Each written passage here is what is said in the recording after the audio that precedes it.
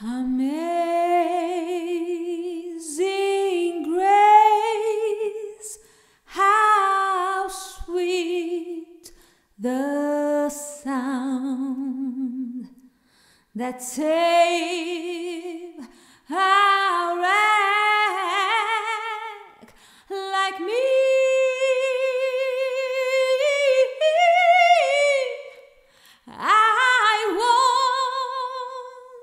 was lost, but now I'm found.